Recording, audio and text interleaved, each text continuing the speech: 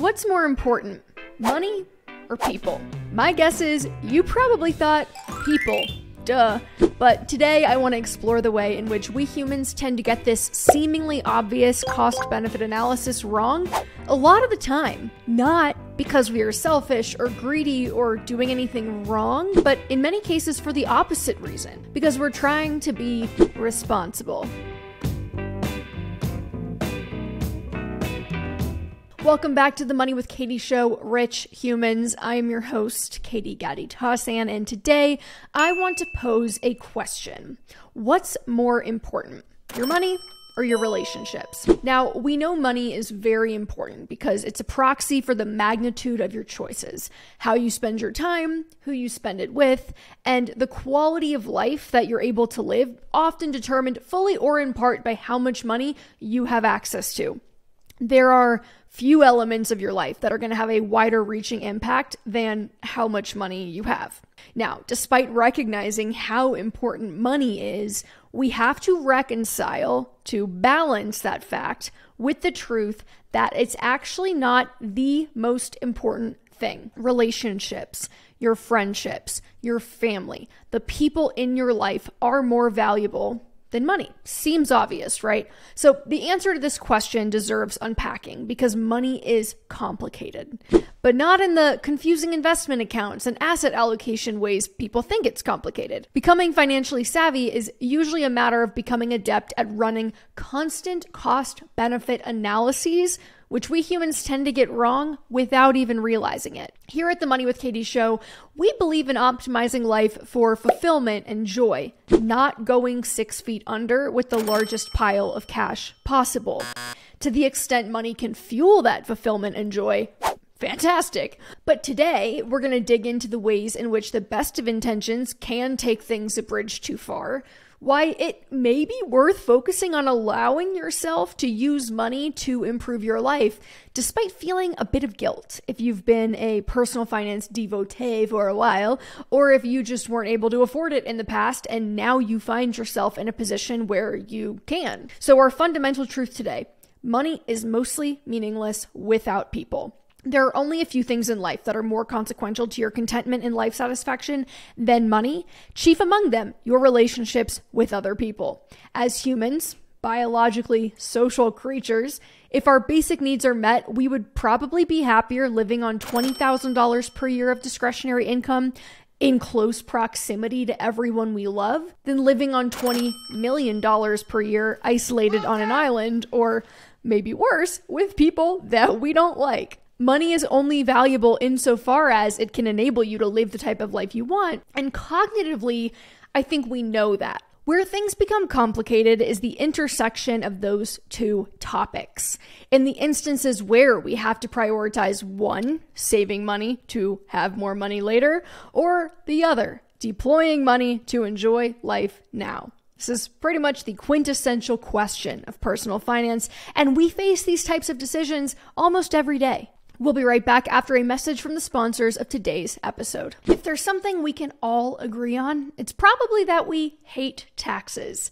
Doing them, filing them, even thinking about them. But while we're on the topic, I actually know something that can make your tax season a little less taxing, and that's getting your taxes done with our presenting sponsor, TaxAct. TaxAct's easy to use software takes the stress out of filing, and their free expert assist service is a total game changer. You can speak with tax experts to get answers to any questions you may have for free, and they can even do a quick review for you before you file. Get started with TaxAct for free at taxact.com slash money with Katie. That's T-A-X act.com slash money with Katie. So, for the sake of today's episode, pretend the personal finance worldview is epitomized in an imaginary place. We'll call it Ramseyville for obvious reasons, though Dave is not the only elected official. You've also got Mayor Suze Orman, Councilperson Jim Cramer, and a slew of HOA presidents i.e., dozens and dozens of prominent personal finance writers who have strong points of view about money, like me. In Ramseyville, the culture is very different from what we are accustomed to elsewhere in the industrialized West. These seven baby steps are carved Mount Sinai style into the town square, coffee shops are outlawed, and everyone has an 80% save rate. It is an entire town where everyone's trying to be a real estate mini mogul, where restaurants can't survive because nobody eats in them, where meal prepping and free activities reign supreme. And for the sake of this hypothetical, we'll ignore the fact that no stock market based on the Ramseyville economy could ever support FI lifestyles, as there would be no corporate profits to generate returns. So just, you know, slide that little fact to the side. The scary thing about Ramseyville is that the roads around town are mostly paved with good intentions, but there are some sketchy back alleys full of ridiculous advice if you wander into the wrong algorithm. Number one, poor people watch a lot of TV. Let me put it this way if you have the time to watch reality TV, you're probably poor. Interesting. I would think having a lot of free time would indicate the exact opposite about your financial situation. But anyway, moving on. The cost benefit analyses in Ramseyville are very simple because we are optimizing for one thing and one thing only. Money is the only thing that matters in every decision. Now, well meaning 20 and 30 somethings often choose to take up residence in Ramseyville in response to a desire to build wealth. Because when you're young, in your 20s, likely your lowest earning years, your access to money may be fairly limited. You're not able to participate in all the things you'd likely want to because you literally can't afford to. Your 20s also happen to be the time in your life when we, in Ramseyville, often emphasize the importance of saving something because it's when you have the most time ahead of you. The dollars that you invest in your 20s will grow more than the dollars you invest in, say, your 40s. So, what does a young citizen of Ramseyville do in response to this information? Well, if their income is relatively low, as it often is, they are probably making relatively extreme lifestyle choices in an effort to create some investable income. If something discretionary costs money that you could provide yourself for free, you don't spend the money. The more frivolous something appears to be, the harsher the treatment in Ramseyville. Personally, I don't go out to eat, and even though I am a multi-millionaire, I still don't go out to eat anyway because it is such a waste of time and it is all set up incorrectly. And then I see all my other loser friends, they're always going out to eat, partying with their friends, and they're just wasting tons of time, wasting all their money on this stuff, and it's not even providing them actual value.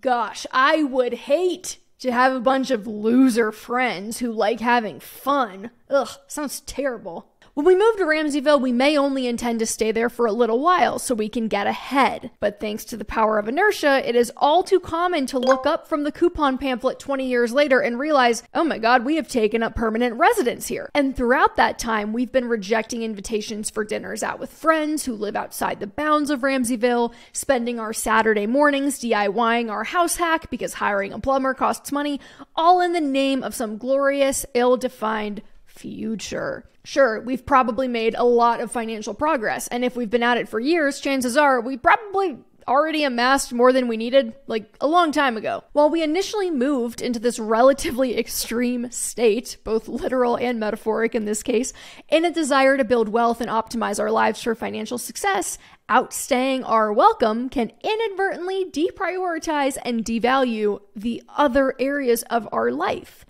without noticing we have permanently settled on optimizing our life for money, not joy or fulfillment. We have officially lost the plot. So, how does this impact relationships and quality of life? I've talked in the past about how sometimes when you get your shit together financially, your lifestyle and friendships change. They just do. Sometimes you realize that people are not in the same stage of life as you are, or they don't have the same values as you do, and that's okay. After all, I really sincerely hope that a sense of belonging in your friend group is not contingent upon dressing a certain way, or driving a certain type of car, or frequenting Nobu. And there are plenty of activities, like meeting for a potluck picnic in the park, or going for a hike, that are fun and inexpensive or totally free. But there are other activities, the likes of which are outlawed in Ramseyville, that require opening your wallet. Group trips, music festivals, even simpler activities like restaurant meals, they require a financial commitment. Sometimes we are simply not in a financial position to participate, and there should be absolutely no shame in sharing openly with loved ones where financial limitations prevent us from booking the last minute flight to Palm Springs for Coachella. But in the purely personal finance dogma worldview of Ramseyville, these things would be dubbed wasteful and a distraction from your eventual face melting retirement even if you can't afford it and even if you want to participate. Sometimes we refer to this as not seeing the forest for the trees or the juice not being worth the squeeze. Unintended rhyme. The problem with most dogmatic personal finance black and whites is that they place all of the emphasis on the financial outcomes and none of the emphasis on the social and quality of life outcomes. Or at the very least, the latter is just an afterthought. In groups of people, whether they be friends, colleagues, romantic partners, you name it. It comes down to right sizing your cost benefit analysis. Back in the day, when I was super, super hyper frugal, I was penny pinching everywhere possible. I would go to free exercise classes at the studio where I taught. So, a couple days per week, my friends from class would walk over to a coffee shop afterward to grab coffee or a muffin and sit around and talk for 30 minutes after class, but before the workday started. It was very early in the morning, so it was kind of a nice little activity. This was such a low effort, high quality time together where you're riding that endorphin wave, you're getting some caffeine, you're starting the day with friends bright and early except I used to frequently skip this type of gathering or attend, but then awkwardly sit and not drink or eat because I was trying to save money. And in my purely Ramseyville worldview, the $5 that I would have spent on cold brew on its face was a waste because I had cold brew at home. In Ramseyville, where we are only concerned with financial outcomes, I was making the quote unquote right choice. But I wasn't spending $5 for cold brew. I was spending $5 for 30 minutes of enjoyable quality time with friends in a relatively cheap special group bonding experience. And sure, it's possible to create that type of community for free too. We could have gathered somewhere else without food or drink, but the point stands, especially when the third spaces in Western society are typically coffee shops and restaurants. And in a cost benefit analysis that considers both the life experience juice that one gets for the $5 squeeze, our outcome in this example has an incredibly high ROI the chance to strengthen your bonds with friends and enjoy a sense of belonging, that is some of the best money you will ever spend. It's very cheap. I don't have to plug $5 into a compound interest calculator to know that I valued those experiences more than whatever three digit number it's going to spit out 20 years from now. Coffee out is something we point to as quintessentially frivolous. It's where we venture into the mix of aphorisms and mental models and life rules that apply a scarcity fueled rigidity to what is valuable enough to spend money on and what's not. And you spend a dollar to three dollars on a cup of coffee, which is approximately a hundred dollars a month. An example, a hundred dollars a month in a Roth IRA. In that case, my choosing not to go because I wanted to save five dollars was ultimately meaningless compared to the time and community that I gave up to keep my $5. It's not that you have to say yes every single time, but if we're only ever concerned about the dollar value associated, we may be missing the forest for the trees. You are just really wasting money.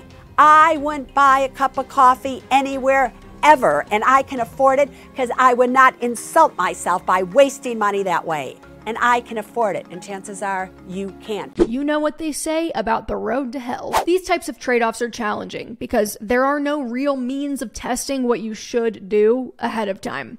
There is no equation or section of the tax code that dictates when and how we should balance our money and our time with friends and family. But there are two tools that I want you to put in your toolbox when you're weighing your financial responsibility with your desire to, I don't know, participate in your life and activities with loved ones or colleagues. Number one, set up a structural baseline. If you know that you need to save 20% of your income to hit your goals, you know the other 80% can be spent.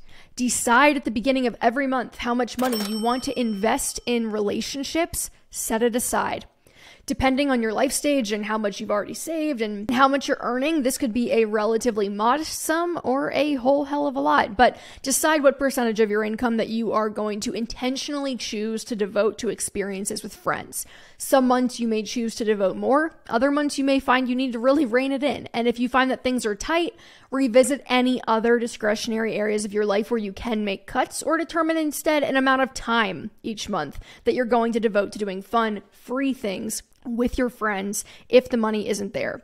Phone calls, long walks, inviting someone over for dinner to eat the food that you are already cooking should impact your budget minimally, if at all. Number two, listen to your body.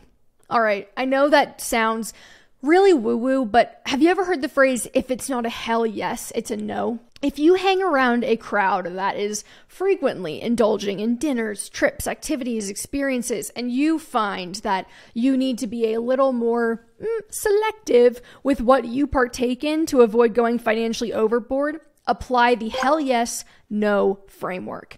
When you are invited, Practice listening to your body's immediate response. Do you feel energized and excited by the prospect of joining, or are you immediately full of dread and anxious about money? More often than not, your original gut reaction will be the right one about whether or not something is going to be worth it, and your conscious mind will either try to talk you into or out of it after the fact. There is a distinct difference between the genuine desire to do something with friends and then talking yourself out of it because of money and FOMO. One is rooted in joy, while the other is rooted in fear. When I overdo it, it tends to be due to FOMO, and decisions made in FOMO often lead to financial regret later. So let's talk about my own experience putting down roots in Ramseyville that led to some regret. As you probably inferred from my earlier example, even just a few years ago, I routinely rejected invitations to go on trips, attend music festivals, go out to lunch. I basically didn't join any activity that wasn't free because I was so narrowly focused on saving money. Now, at this phase in my life currently, living somewhere where I don't know many people and where I have ample opportunity to save money, but not a lot of opportunity to spend time with loved ones, I look back on my singular obsession with frugality and I feel a lot of regret. While I am obviously thrilled with the financial progress I made, it is obvious to me where my relationships and quality of life suffered because I put professional and financial growth first almost all of the time. Moving forward, my goal is to intentionally spend more money and time creating memories with friends and family, starting with bumping up our travel budget as we need to travel to see most of our friends, and committing in the new year to actually taking more time off. I think I took eight or 10 days off in 2022, and I would really like to double that number. So I want to end today's episode with some thoughts from my friend Jack Raines of Young Money. The time value of money states that delaying your spending will increase the value of your portfolio over time. And if we had unlimited time here on this earth, then the story would stop there. Defer all spending as long as possible to have as much money as possible at some indefinite time in the future. But we don't have unlimited time. To get the full picture of the relationship between money and time, you need to flip the equation around. The time value of money may show us how much the value of an investment will change between two points in time given an expected annual return. But the money value of time shows us how much time we have left to exchange that money for an experience. While money tends to increase over time in the former, time tends to decrease over money in the latter. And that's why extreme frugality is so dangerous. It leads you to sacrifice countless experiences early in your life just so you can try to cram them in your twilight years. For me, the life changing moments did not have to be the expensive grand trips across the Atlantic Ocean or pricey dinners out. They were the sporadic mornings spent getting breakfast with a friend, even though I had food at home, or the coffee dates spent commiserating over whatever adulting ailment we were both suffering from that week, or the team lunches with my favorite colleagues, with whom my time was cut unexpectedly short because of the pandemic, that FI Dogma would have suggested I skip because I packed a lean cuisine. Those are the little moments that forged my relationships, that offered a glimmer of hope during hard weeks, and ultimately had little to no bearing on my financial future. But had I only heeded the black and white language of Ramseyville's civil code, they never would have happened. And you know what? To be honest, I probably missed out on a lot of potential moments by trying to heed that civil code. Sure, I would have incrementally more money today, but at what cost? It's important to remember what you are optimizing your life for, and the answer probably shouldn't be solely money for any extended period of time. All right, y'all, that is all for this week. Before we go, comment below what you thought the most interesting part of our conversation was, and remember to like and subscribe to our channel. I will see you next week, same time, same place on The Money with Katie Show. Our show is a production of Morning Brew and is produced by Henna Velez and me, Katie Gatti Tassin. Devin Emery is our chief content officer, and our video editors are the wonderful Christy Muldoon and Sebastian Vega. Additional fact checking comes from the lovely Kate Brandt.